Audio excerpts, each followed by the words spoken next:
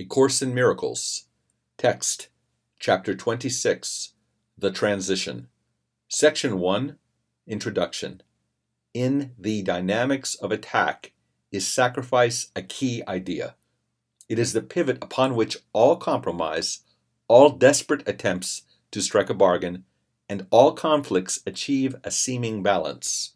It is the symbol of the central theme that somebody must lose its focus on the body is apparent, for it is always an attempt to limit loss.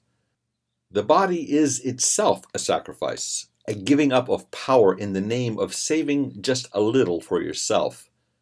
To see a brother in another body, separate from yours, is the expression of a wish to see a little part of him and sacrifice the rest. Look at the world, and you will see nothing attached to anything beyond itself all seeming entities can come a little nearer or go a little farther off, but cannot join.